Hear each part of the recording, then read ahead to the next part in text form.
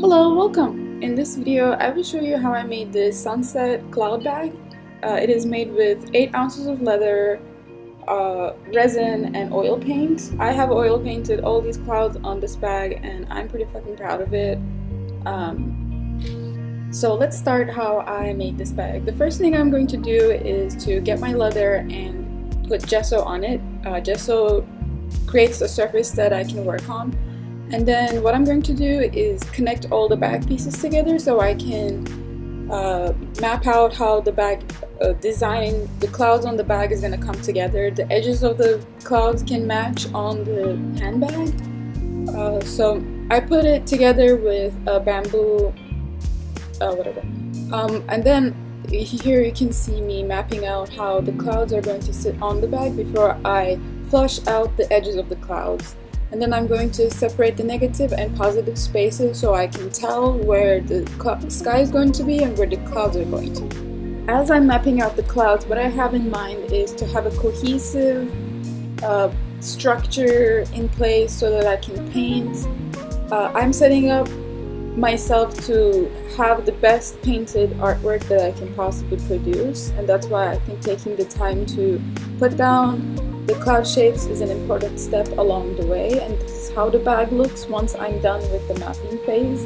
I was, I was contemplating whether I should take the bag apart in order to start painting but I decided not to because I wanted to see so where I'm painting from my brain at this at this bag so I needed to see where the light source was coming from and depending on that I put the darkest clouds to the back of the bag and the lightest clouds to the front of the bag. Um, so the blue that I'm using is ultramarine blue mixed with some red and black. And because you know sky color has red inside. Surprise. Um, and I'm, I'm just going into the, the negative spaces and then I'm going to smooth out the paint because air is smooth. It doesn't really hold strokes.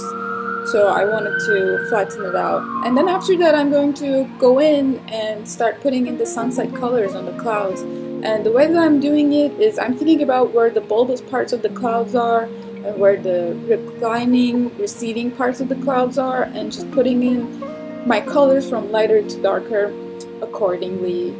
Uh, I don't know if this is the correct way to paint clouds, but I was doing some research and this seemed like something that I can pull off because I'm still doing my online art school and I'm learning how to paint uh, oil paint, so I'm not an efficient painter.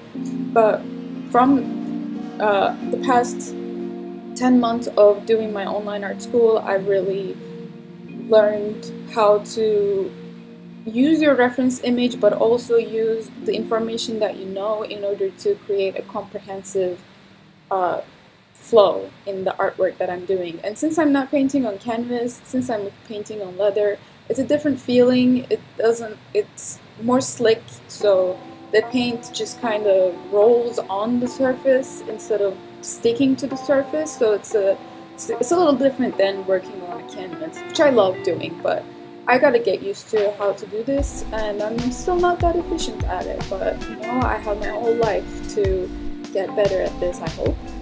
And um, yeah so this is the backside of the bag which have more darker clouds so you can see me going down the value chart and picking out colors that are much darker than the light surfaces uh, obviously because I want to create some realism but also have aspects of imagination mixed into it. And this is the part of the process where I take apart the bag so I can do the next process. Um, but taking apart the strings uh, deemed more challenging than I was hoping for because I, I didn't want to ruin what I've created and I also can't wait until this is dry because the uh, thread will just stick to the bag. And then release.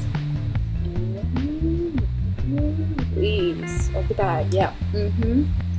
Now that the nope the bag is still not in pieces.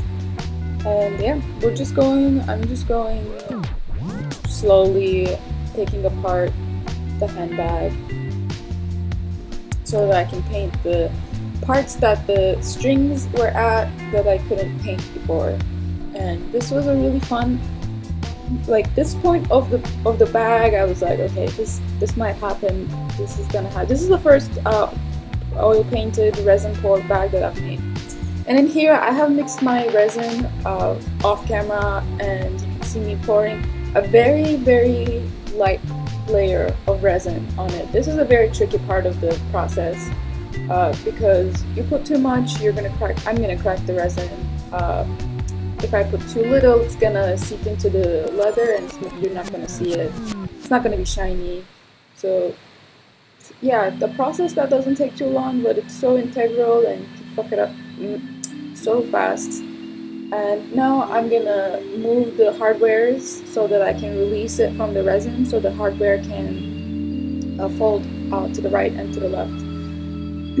and there you go. I, yep. Mm -hmm.